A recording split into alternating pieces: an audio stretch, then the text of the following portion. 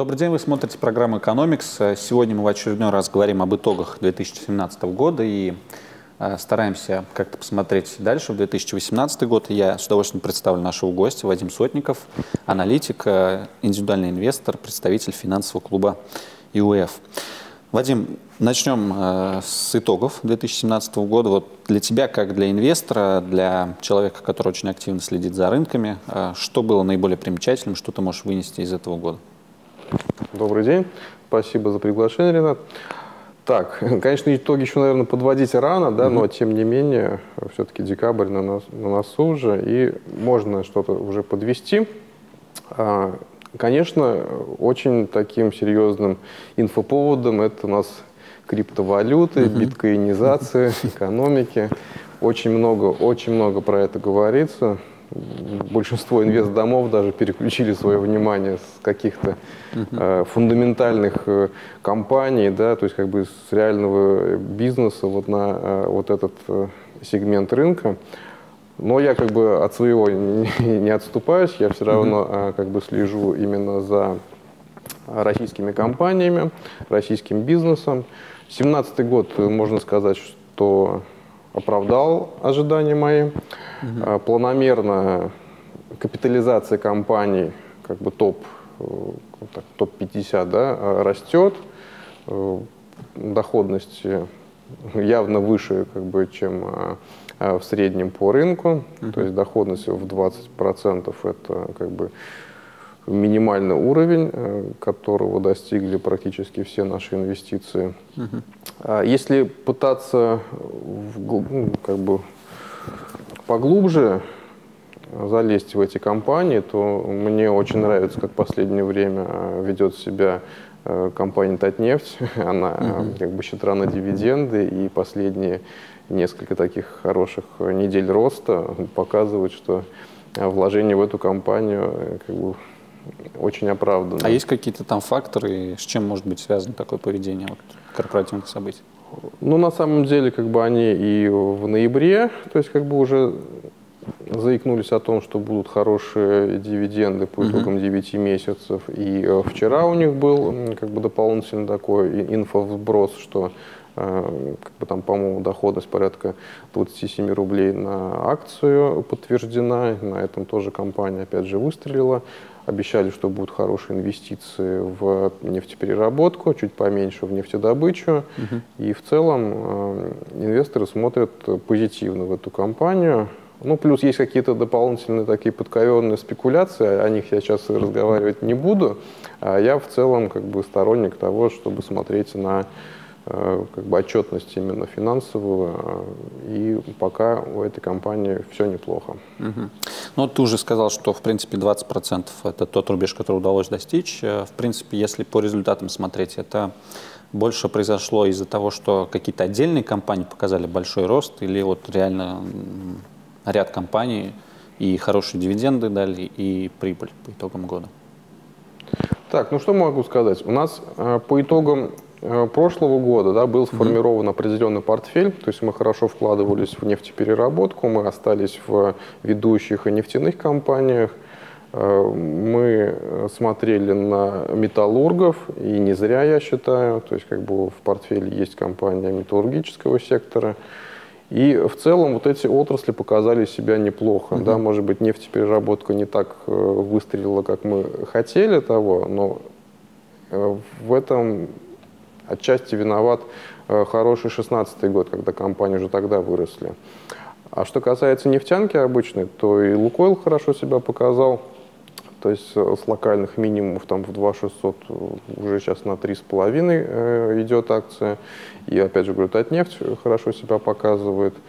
По металлургам практически все компании металлургического сектора очень хорошо себя в этом году показали.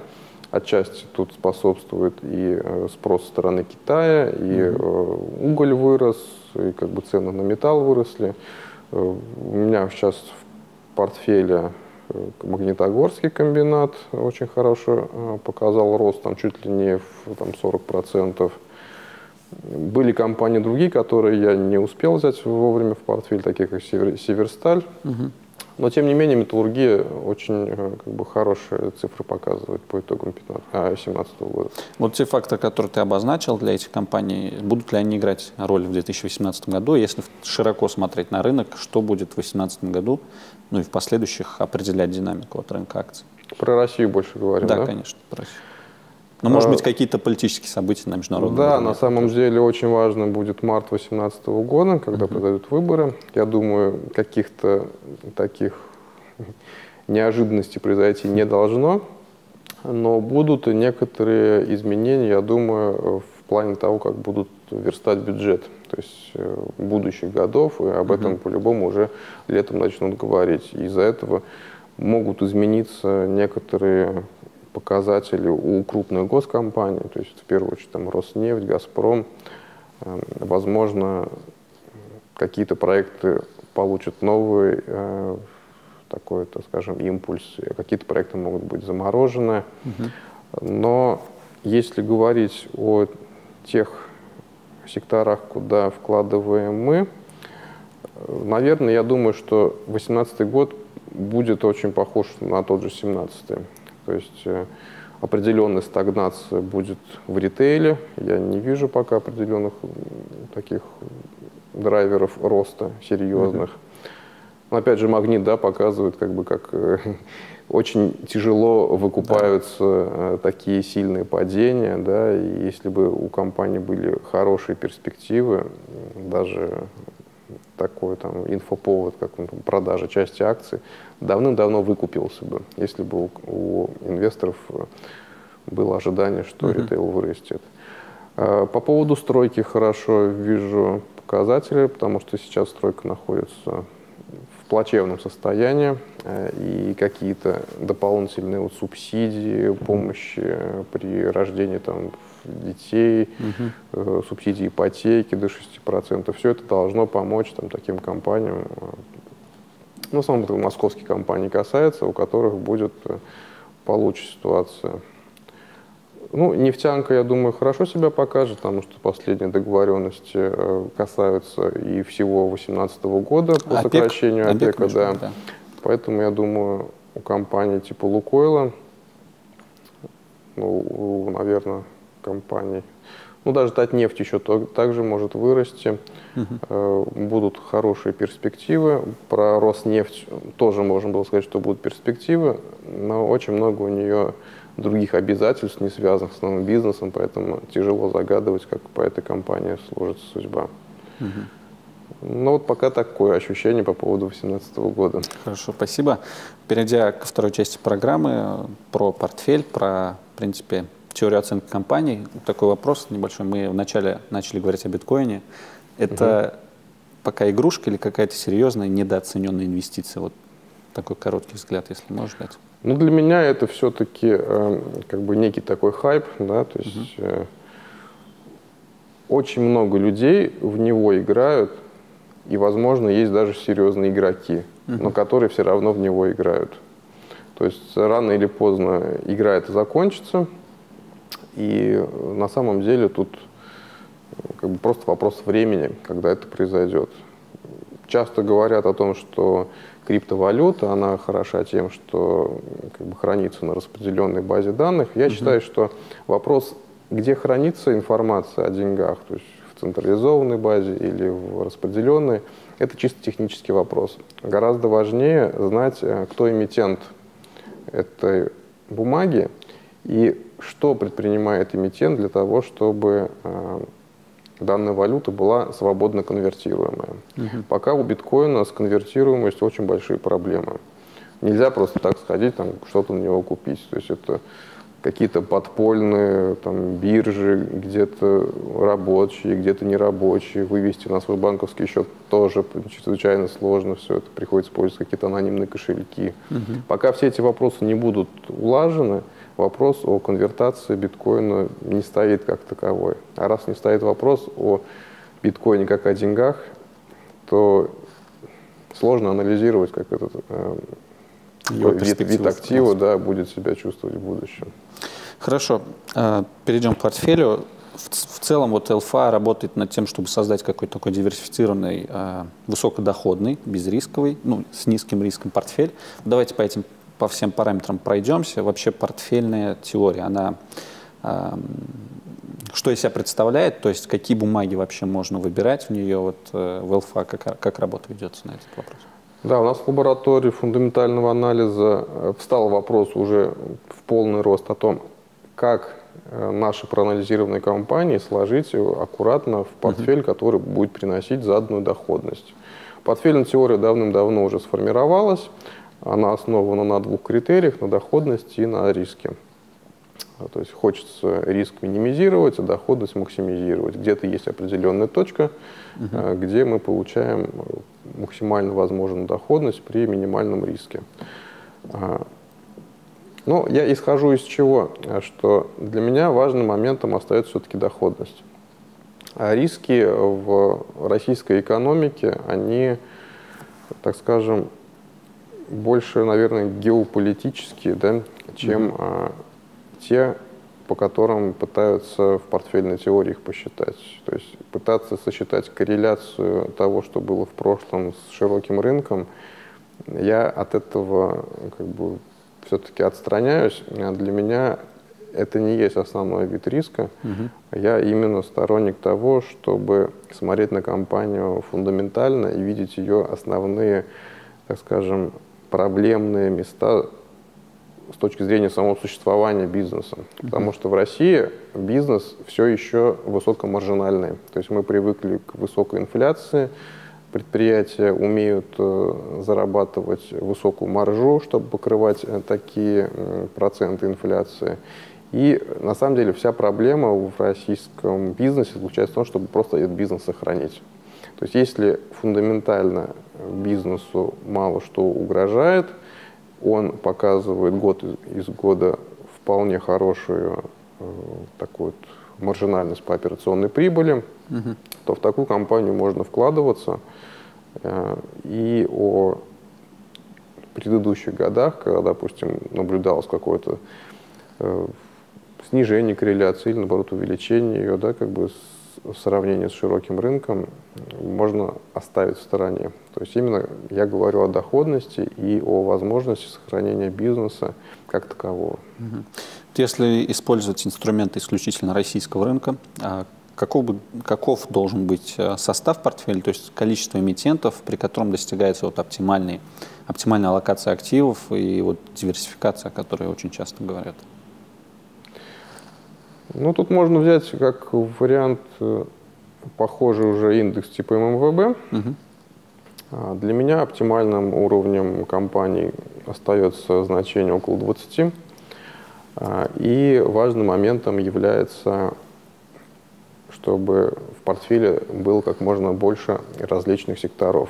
То есть, если посмотрим на наш МВБ, то есть там ну, процентов, наверное, 85 это как бы нефтегаз и банки. Ну, это по есть... капитализации, да, наверное? Или... Ну да, то есть как бы... Основ... А, по весе в индексе, наверное. Да, да. да. А если все-таки делать портфель более такой разносторонний, uh-huh. то было бы хорошо иметь и причем в равных пропорциях, да, как бы и металлургов, и как бы ритейлов, и, возможно, там, строителей, угу. может быть, машинообработку, опять же, как бы нефтепереработку. Пока все-таки вот тот индекс, который предлагает ММВБ, он, ну, по моему мнению, очень однобокий. То есть я стараюсь его э, как бы расширить именно за счет того, чтобы каждый сектор, будь он большой или маленький, получил необходимую долю в нашем портфеле. Окей, okay, вот мы разделили а, по секторам компании. Следующий принцип какой будет деление? То есть мы посчитали доходность, определили, что эта бумага, в принципе, должна быть, как, какую долю ей э, дать нашему портфелю? Да, это важный вопрос был, то есть я к нему э, обращался в свое время. А, пришлось э, ранжировать все компании по ожидаемой доходности. Uh-huh. То есть если мы просчитываем компании обычно там, на 5 лет вперед, мы можем предположить, какую э, цену за одну акцию э, мы можем увидеть через 5 лет. Таким образом можем получить доходность, годовую доходность, и исходя из э, вот этой потенциальной доходности мы можем э, каждой компании э, дать свой вес. Угу. То есть чем больше доходность у компании, тем больше вес она получает. Но там, конечно, не в абсолютных выражениях, иначе все, э, все место в портфеле уйдет одной компании. Конечно, есть определенные ограничения, то есть есть не более определенные так скажем, про, определенного процента каждая компания может получить. Но так или иначе, важным моментом именно является, чем больше доходность компании, тем э, больший э, процент э, веса да, будет иметь компания в портфеле. Если у компании доходность не очень большая, мы можем ее либо вообще не включать, либо можем включить, но с небольшой долей. Угу.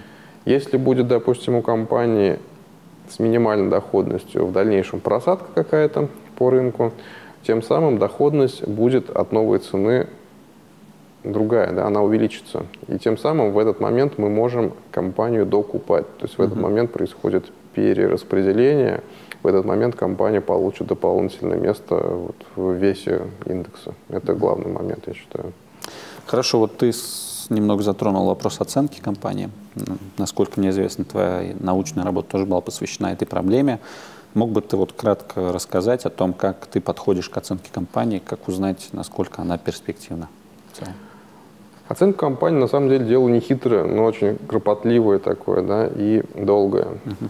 Важным моментом, конечно, является бухгалтерская отчетность, желательно составленная по стандартам международным, МСФО угу. или ГАП. И э, к чему я прихожу? Э, во всех отчетностях часто выделяют чистую прибыль. Чистая прибыль на самом деле очень грязная. То есть туда подмешивается много различных э, параметров, много различных корректировок, там, начиная от амортизации сосчитной каким-то образом, заканчивая какими-то неоперационными расходами или доходами. Угу. Мы не можем э, предугадать, как компания будет себя вести вот с точки зрения каких-то э, таких неоперационных расходов, доходов в будущем. Мы можем видеть лишь основной ее бизнес. Поэтому я важным критерием ставлю именно операционную прибыль или маржу операционной прибыли. От нее мы можем дальше высчитывать все остальные параметры. То есть, если у бизнеса есть определенная маржа по операционной прибыли, мы вправе предположить, что она будет в дальнейшем такая же, либо из каких-то критериев может чуть-чуть измениться в большую или в меньшую сторону. Но мы убираем из анализа такие моменты, как какие-то внереализационные расходы, доходы, курсовые разницы мы стараемся тоже не брать во внимание. И э, также очень тщательно подходим к амортизации, потому что как рассчитать амортизацию, от этого очень часто зависит э, чистая прибыль на выходе, она может очень сильно изменяться.